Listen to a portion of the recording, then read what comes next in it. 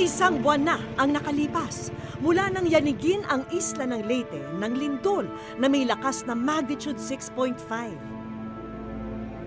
Ang pinakalabis na napinsala, ang mga bulubunduking sityo sa bayan ng Ormoc. Ito ang unang pagkakataon na muling babalikan ni na Mike ang tahanan nila sa sityo Kabaonan. Dito pumanaw ang 19 anyos na si Risa.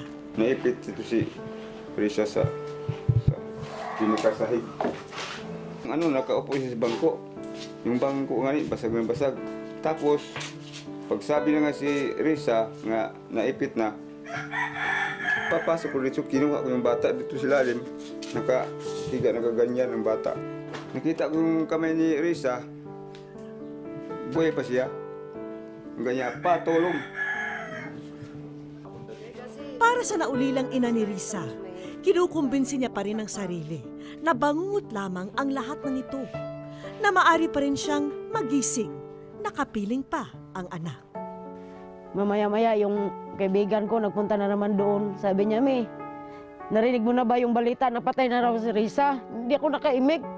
Ang isip ko naman na hindi, kaano-ano lang yun. Yung mga usap-usap na yan sa tao ba, hindi ako naniwala. Hindi ako naniwala nun.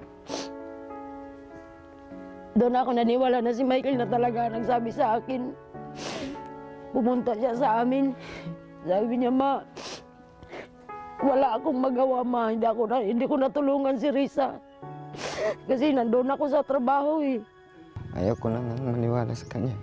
Kanino? Sa Diyos. Kinuha niya lahat sa akin. Pamilya ko, tas yung asawa ko. Matayog ang pangarap ni Risa para sa pamilyang itinataguyod nila ni Michael. Pero, papaano nga ba ito ipagpapatuloy ng kanyang kabiyak ngayong maaga silang pinaghiwalay ng trahedyang ito? Pangarap na rin sa ng ano, sariling bahay namin. Tapos, magkasal kami. Mag-aaral siya.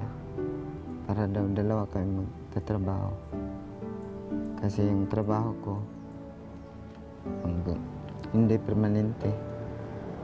Dalawang buwan, tapos wala namang trabaho, tapos meron naman. Gusto niya yung dalawa kami magtrabaho.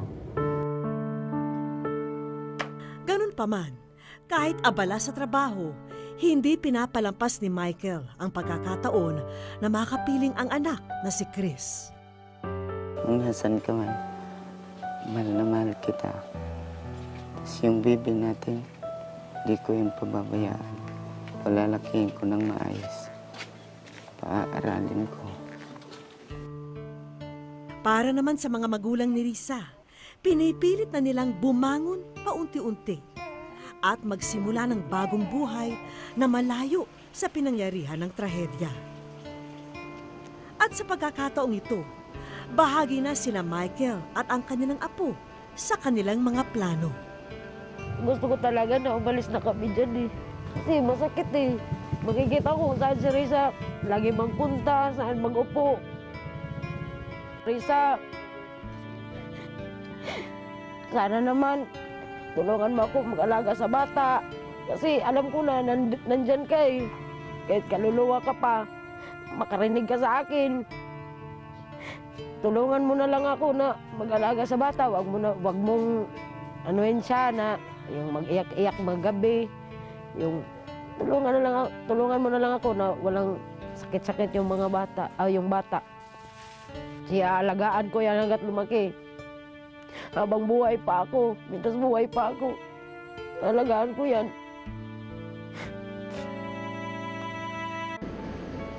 Sa sementeryo namin sinamahan si Michael at mga magulang ni Risa ng sumunod na araw. Pero may napansin silang kakaiba sa pagbisita nila sa puntod ng umagang yun. Ni niyanig man ng trahedya ang inyong tahimik na pagsasama. Naway maipagpatuloy nyo ang buhay sa mga naiwang alaala. Kayo ay nasa. Ang promise ko lang sa iyo, nak, na yung anak mo talagang hindi ko to pababayaan. Dadalhin, dadalhin namin siya sa magandang ugali. Ipalala ko sa kanya na ganyan ang nangyari sa inyo. Pangako ko po na hindi ko pababayaan anak natin. Mamahalin ko katulad ng pagmamahal mo anak natin. Para sa isang ina, wala na sigurong mas nakakapanatag pa ng kalooban kundi makita na kumpleto sa gamit ang kanyang sanggol, lalo na't nakadepende pa ito sa pag-inom ng gatas. Kaya naman sinigurado namin na hindi kukulangin si Baby Chris ng kanyang gatas at diapers. Ako, salamat talaga sa inyo. Nandito yung asawa ko. Sobrang saya. Kasi may marami ng ano, gatas yung baby namin. Alam din naming iniwan na ng ama ni Risa ang trabaho sa malayo para lamang mabantayan ang pamilya at apo. Kaya tumugon ang pamahalang bayan ng Ormoc sa inyong pangangailangan. Magbibigay ng uh, job order na trabaho starting po sa September sa kay sa ama po ng uh, namatay po. Papasalamat ako sa sa inyo, pati sa kay Mayor. Papasalamat, maraming salamat. Para naman kay Michael, dagdag training para makakuha ng regular na trabaho. Electrical Installation and Maintenance in situ. Ito po yung konting tulong na maibigay sa TESDA sa iyo. Congrats. Sir, asahan niyo po, pagbubutihin ko ang training para hindi masayang itong binigay niyo sa akin. Maraming salamat.